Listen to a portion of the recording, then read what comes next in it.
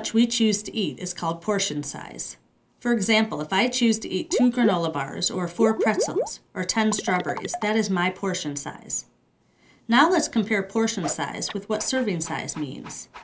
On the side or back of boxes of food, there is a nutrition facts label.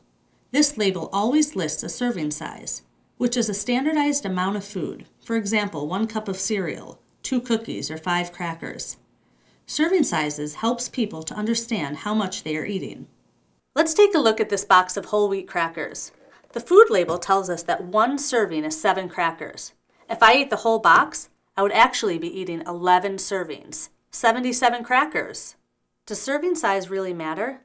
Let's take a look at this food label and focus on one part of it, the sugars, to help answer that question.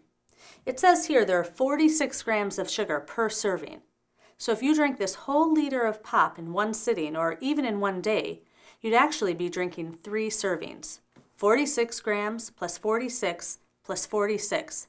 That's 138 grams of sugar this much sugar. So, to answer that question, does serving size matter? The answer is yes. It's recommended that you have no more than 5 teaspoons of sugar every day. That was 11 tablespoons of sugar. So why do we need to care about all this? What can happen is that when we don't pay attention to how much we eat, we tend to eat too much. Think about if you're eating a large bag of popcorn while you're hanging out or doing your homework. You might almost eat the whole bag without realizing it. What's a better option? How about if we take out some of the popcorn, a portion, and put it in a bowl to eat it?